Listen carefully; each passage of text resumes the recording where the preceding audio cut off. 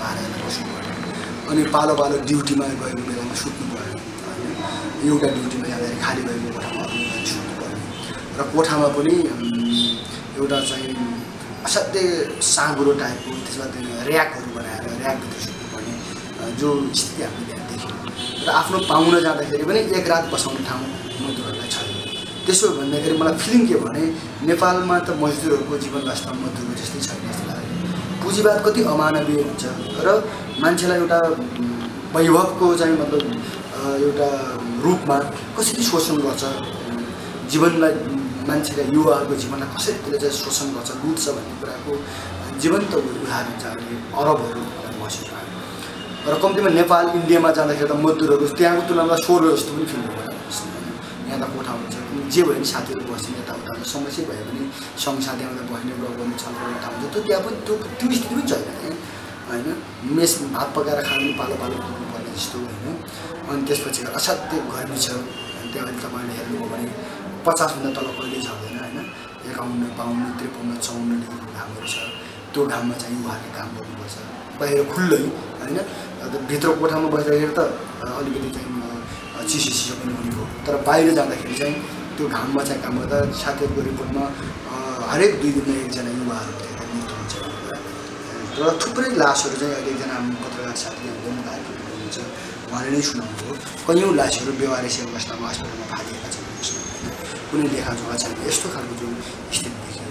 त्यसपछि गएर सबभन्दा कठिन ठाउँमा मरुभूमिको बिचमा चाहिँ भेडा पाल्ने स्थिति छ होइन? अनि ठुल्ठुला सेकहरू जमिनदार घरमा काम गर्ने निकै कष्टकर स्थिति न होइन। त्यहाँ लगेर छोडिदियो भने उसकै इच्छाअनुसार मात्रै फर्किन पाउने जस्तो। नत्र फर्केर आउनु पनि गाह्रो जस्तो कि एउटा सजाय जस्तो। त्यस्तो अनुभूति चाहिँ हामीले प्रत्यक्ष गऱ्यौँ हामीले कुरा पनि गऱ्यौँ मरुभूमिको गोठहरूमा पनि हामी बसेर साथीहरूसँग भेट्यौँ संयोगले एकजना जनमुक्ति सेनाको भाइ पनि त्यहाँ पुग्नुभएको छ। र उहाँको पीडा सुन्दाखेरि र उहाँको दृढता भनौँ भयो मैले एउटा कुरा कि अलिक भेटेपछि गाई त अहिले पनि बोली छ र उहाँले के भन्नुभयो भने म नेपाल जाने हो। तर निश्चित छैन। अब साहुले कहिले जा भन्यो त्यसले मात्रै भने एकदमै अप्ठ्यारो स्थितिमा कि त्यस्तो खालको अनुभूति कुरा हो। अनि क्रान्ति सिद्धिएको छैन र क्रान्तिमा भाग लिन जाने हो भन्ने एउटा फिलिङ चाहिँ प्रत्यक्ष त्यहाँ देखियो होइन?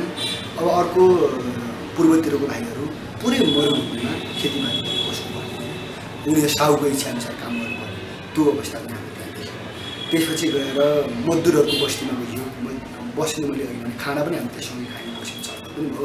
तर बास बसाउने ठाउँ पनि उहाँलाई छैन एकचोटि आफ्नो मान्छे आउँदा होइन।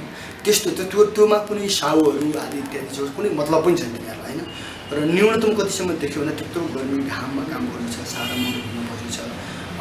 जम्मा छ सयदेखि के अरे छ सय रुपियाँमा काम गर्नु छ। सय भनेको नेपालमा आउँदाखेरि कति तेह्र चौध हजार। मा काम गरेको पनि पाइयो तैपनि नेपालीहरू त्यहाँ गएर होइन घर सम्झेर बसेको जस्तो होइन पाँच सात हजार रुपियाँ बचाएर पनि अलिकति जो गरेर फर्किनुपर्छ भन्ने खालको फिलिङ होइन अलि माथि गयो भने त्यही नर्मल्ली त पच्चिस तिस हजारसम्म पनि पाइयो अरू कसै कसैको थोरैको त अलिक बढी पनि हुने भयो तर असाध्यै कष्टकर जीवन नेपाली। उहाँहरूको विश्लेषण चाहिँ नेपालको शान्ति प्रक्रिया जनताले अपेक्षा गरे अनुरूप सम्पादन भएन र सायद सफल हुँदैन क्या हो भन्ने त्यहाँ थियो।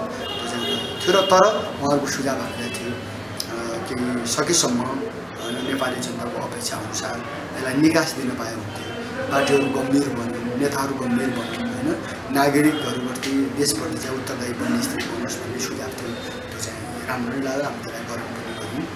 सँगसँगै हाम्रो पार्टीबाट गरेको अपेक्षा पनि उहाँहरूको थियो सकेसम्म युद्ध नहोस् होइन? त्यसपछि नेपालमा चाहिँ शान्तिपूर्ण तरिकाले नै परिवर्तन हुन सकोस् समृद्धितिर जाओस् भन्ने थियो र लास्ट यदि राज्यले सुन्दै सुन्दैन भने वैकल्पिक सङ्घर्षको बाटोलाई फेरि हामीले साथै दिन्छौँ भन्ने पनि रह्यो त्यो चाहिँ खुसीको कुराहरू हो। अब